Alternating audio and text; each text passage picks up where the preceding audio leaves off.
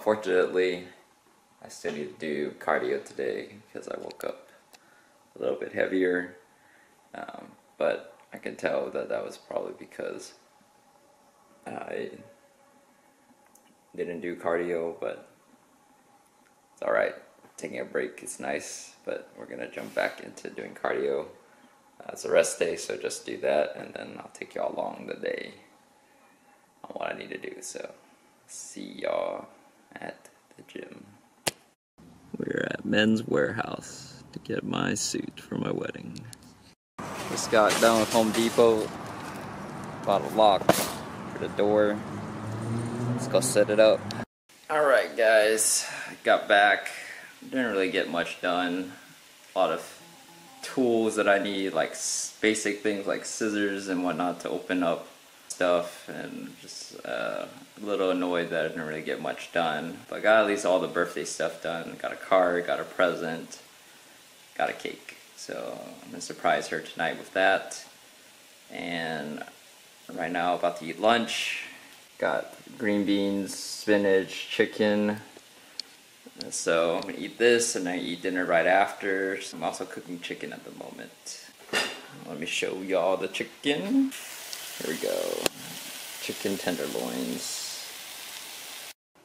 Alright you guys, it is the end of the day now. As I explained earlier today, I had a lot of things that I needed to do and felt like I didn't get done.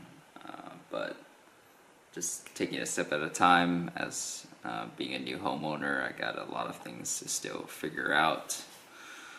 So yeah, and diet doesn't help with that, especially when you're hungry and hot as well, but just grateful to be in this position and just having to do all of these things as an honor to do.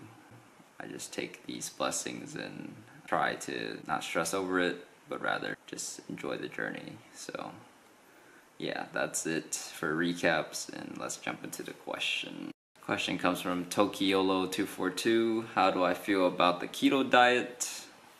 I hear the keto diet actually works. Personally, I believe you have some vegetable within your diet and keto really just focuses on meat and high fat so I'm not I don't agree with it in the sense of having it for micronutrients uh, but if there is vegetables involved then I support it but also fruits are very important as well too berries and whatnot are good antioxidants so I definitely don't agree with doing the keto if if you don't have any of those uh, necessities within your diet. But if it helps with your weight goal, weight loss goal, like still, I, I still think you should do it as a start, but definitely add some fruit and vegetables um, to balance it as well too.